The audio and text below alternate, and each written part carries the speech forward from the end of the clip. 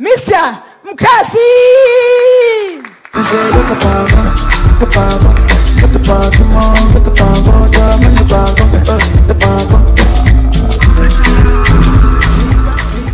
Ah, Habari za saizi jamani. Ah, hakuna hakuna paka wenye hasira kama paka wa migawani.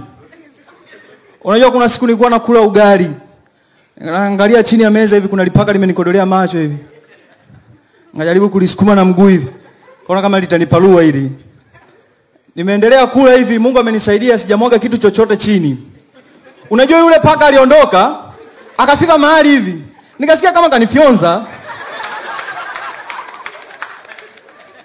Na sijui kwa nini, na sijui kwa nini siku hizi watoto huwa wanalala bila kula chakula.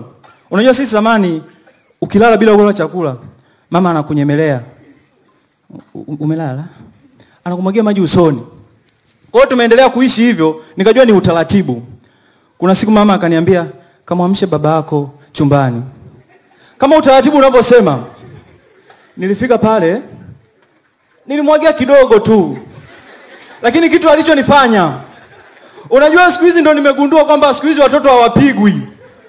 Unajua kuna kupigwa vizuri, alafu kuna kupigwa haswa. Sisi watotoni tulikuwa tunapigwa haswa, ya unapigwa kiasi kwamba mtu mzima akikwambia tema mate tumrudishie baba, mate anagoma kutoka, inatoka pumzi tu, ndo mzee alichokuachia hicho ni dharau, utoe mate ya nani? Unajua mi, nimetokea Mbeya. Kilichonishangaza huku Dar es Salaam kwamba kila mtu huwa anapanda vizuri tu kwenye siti ya mbele ya dereva.